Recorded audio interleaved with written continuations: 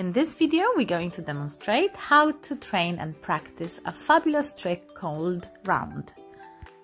You can practice this trick while you are in a static position with only your dog moving around your leg or you can move as well with your dog to be in a more dynamic sequence of movements.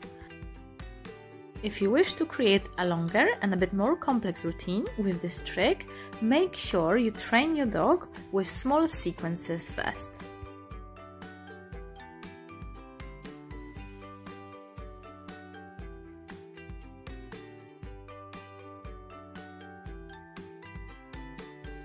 First, start by luring your dog with food at the nose round your leg. Mark each completion of the round movement and reward straight after.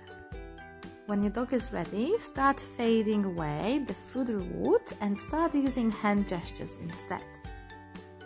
When your dog is ready and repeats this behavior reliably, you can put a cue on it.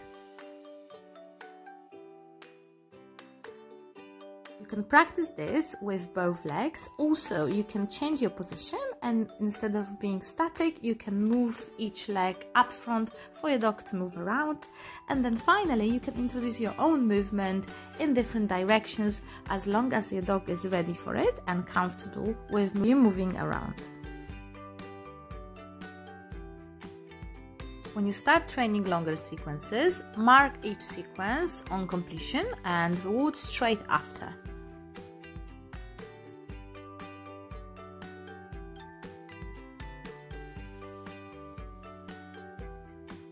Finally, remember to have regular breaks while training and also train in short bursts. When the behavior is reliable, you can slowly progress to outdoor areas with minimal distractions and gradually you can increase distractions as long as your dog performs this behavior reliably. If your dog is toy motivated, you can use it to shape your dog behavior and help to guide your dog towards the right movement. Enjoy your training.